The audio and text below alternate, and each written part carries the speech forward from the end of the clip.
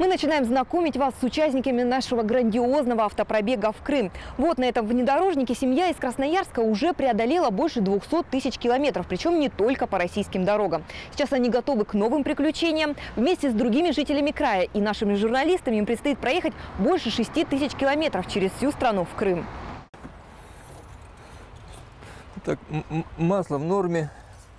Автомобиль, в принципе, полностью к поездке готов. Ну, думаю, что за тот, этот автопробег он меня не подведет.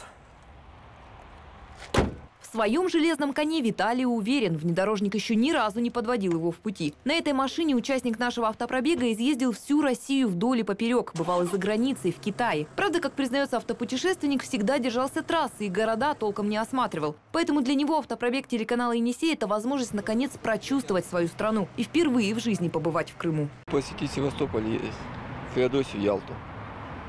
Ну, плюс наши родные российские города пройти с экскурсиями. За рулем автомобиля буду находиться я сам. Как бы, ну, дорога ни, нисколько не пугает. По, по этой дороге ездил и не раз. Ну, э, от Анапы, скажем так, в том направлении. Поэтому ну, в своих силах уверен. За новыми впечатлениями отправиться всей семьей. Жена Виталия Татьяна и сын Алексей сразу загорелись поездкой. Семиклассник говорит, конечно, школу придется пропустить, но когда еще удастся проехать через всю страну большой компанией? И своими глазами увидеть столько всего. Родину-мать, АвтоВАЗ, памятники известным героям войны, жемчужину Крыма, Ялту и, конечно, Олимпийский Сочи. Туда мальчик хочет больше всего. Я спортсмен, я занимаюсь горными лыжами. Моя мечта съездить на Красную Поляну. Если там будет снег, ну даже искусственный, можно там прокатиться. Я мечтаю побывать на всех мемориалах Победы, вспомнить, скажем так, нашу память, наших дедов и прадедов. Ну, я там, может быть, где-то и был, но, скажем так, уже не очень это все помню, просто хочу это еще раз увидеть. Свой автопробег мы посвятили главной юбилейной дате года – 70-летию Победы в Великой Отечественной войне. Во всех городах мы будем возлагать цветы в память о погибших земляках. Татьяна рассказывает, для них эта поездка больше, чем просто дорожное приключение. Подрастает ребенок, очень хочется, чтобы он проникся, больше узнал историю нашей страны, историю победы нашего народа, и чтобы слово «Россия» для него звучало с новой силой, с новой гордостью, с новой интонацией. Эта поездка еще и ради ребенка, потому что патриотическое воспитание – это очень важно.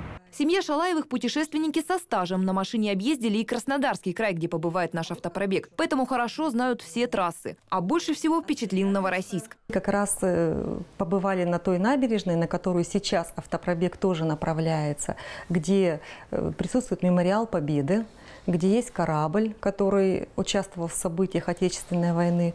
Ну и просто эта набережная очень живописная, очень красивая. Уже сейчас пакуют вещи и закупают продукты в дорогу. Хоть впереди еще больше двух недель, нужно сделать столько всего. Список необходимого растет в геометрической прогрессии. Из дел, которые мы сегодня уже сделали, это подготовили фотоаппарат в дорогу и купили диски музыкальные и кинофильмы.